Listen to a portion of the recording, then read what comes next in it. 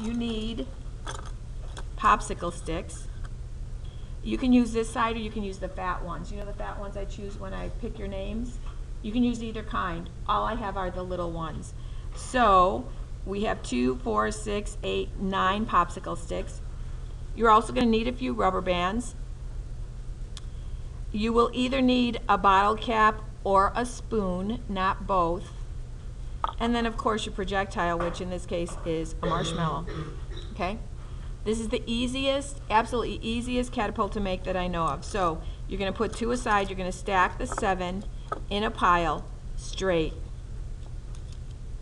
So that when you're done, it looks like that. Just a little pile, right? You're going to take a rubber band and put it around one end. I know that's confusing, isn't it? Okay, put it around one end. So now you've got that together. And you're going to take another rubber band and do the same thing to the other side.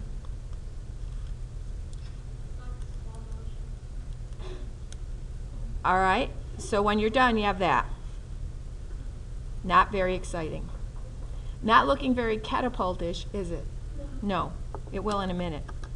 Now you take two and you do the same thing, only for these two, we're only going to put the rubber band on one end.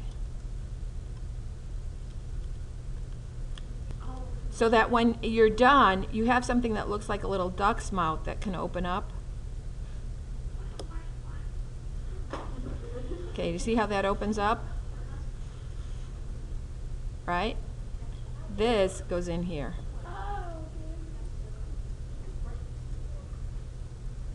And this is the tricky part because you have to use a rubber band and I might want to loosen that up a little bit. Sometimes you want this not too loose but not too tight either and it's a it's a little game figuring out exactly how tight or how loose you want this to be. You don't want it so tight that you can't open it up but you don't want it so loose that it falls apart the first time you put this in. So you put that in and you're going to use your rubber band and this is the hardest part I think to get this on here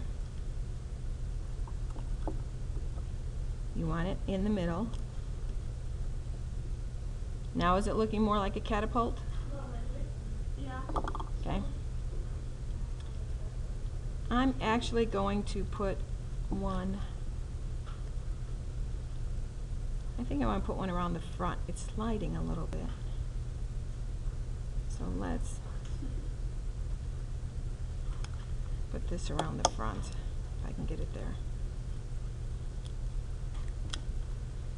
Because we don't want it to slide. We want it to stay right where it should be. Again, pretty much in the middle, so. Now, I can either use a spoon, or I can use a bottle cap. I'm going to use the bottle cap, and I'm going to put a little drop of hot glue on it. Um, I've got the hot glue gun. I'm just like your mom. When you want to use the hot glue, you have to come and ask me. I don't want you playing around with hot glue. And you put it on this end. Oh, now you're seeing a catapult? I saw it. And give it just a second to dry. Hot glue does not take very long to dry. I have the low temperature hot glue gun, so it doesn't take very long to dry. And then you just let it rip. All right? That makes sense? Okay.